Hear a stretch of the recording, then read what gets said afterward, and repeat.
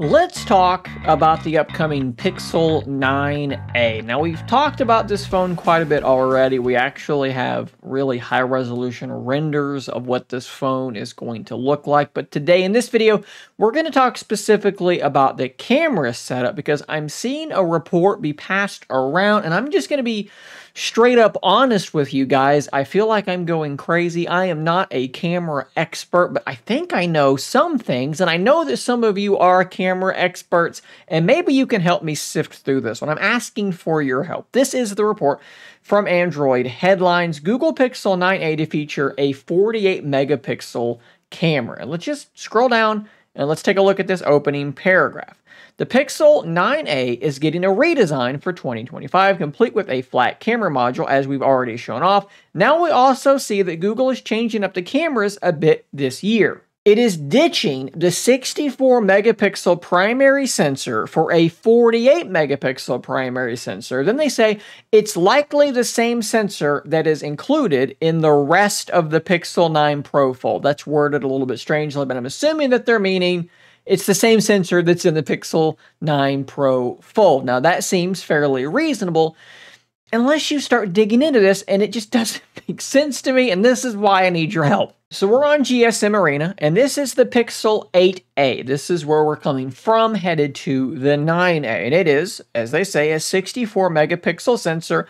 That is your aperture 1.9, and then you are a 1 over 1.73 inch sensor with 0.8 micrometer pixels. If we go to the Pixel 9 Pro Fold, you will see that it is indeed a 48 megapixel sensor. The aperture is not relevant to this.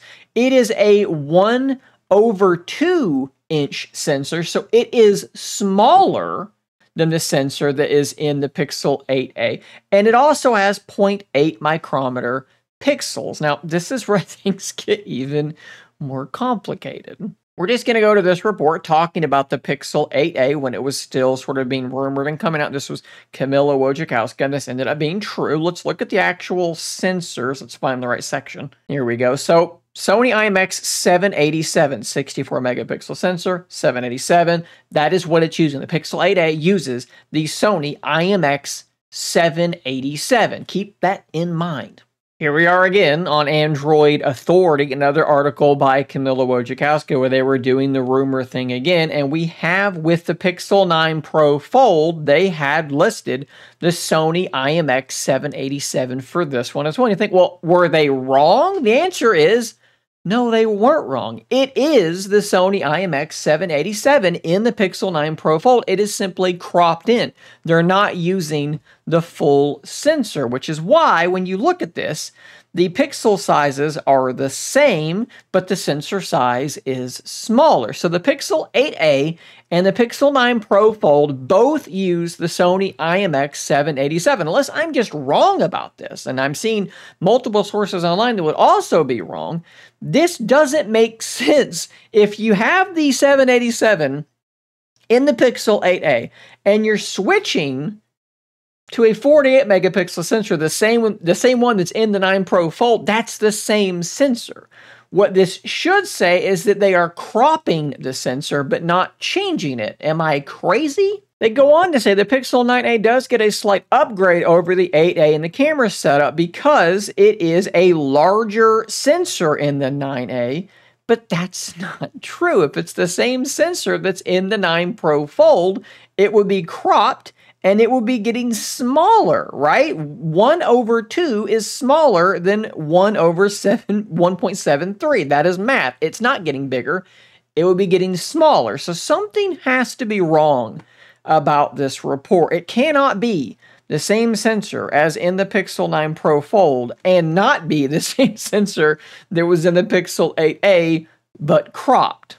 And when I saw this and I read this article, I made this quick post on threads kind of talking about it, and I was just going to leave it at that because ultimately it's not that big of a deal, right? It's kind of just like wording in the article saying that it's a bigger sensor, saying that it's a different sensor, but it's the same sensor as the 9 Pro Fold, which is the same sensor that the 8A was using. It's not really going to amount to anything. At the end of the day, it appears to just be the 787 again, but this time it's being cropped in just a little bit. I would assume that the logical reasoning for this, if you look at this render and you look at the size of the camera bump, is to reduce the size of the camera module. So you have, this is my basic understanding. Imagine you have this big sensor and instead of building a, you know, camera hardware that goes all the way around that, you're just sort of cropping in. So you're, you can be physically smaller. The sensor is the same, but you're using less of the sensor sensor is now, or the camera module is now smaller, so the camera bump is